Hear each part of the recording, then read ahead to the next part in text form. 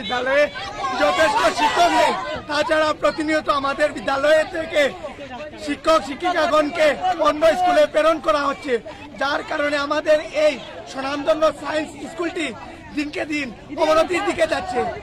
তাছাড়া বর্তমানকালে আমাদের স্কুল থেকে শ্রদ্ধেয় রাসায়ন বিজ্ঞানের শিক্ষক অমিতাভ স্যারকে অন্য স্কুলে পাঠিয়ে দেওয়া হচ্ছে, যা আমাদের অজান্তে। কিন্তু আমরা এই স্যারকে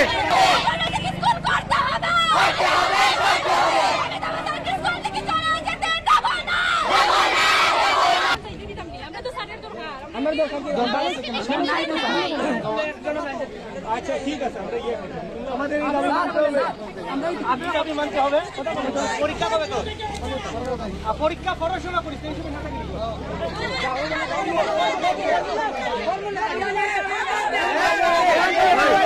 লিখিত লিখিত।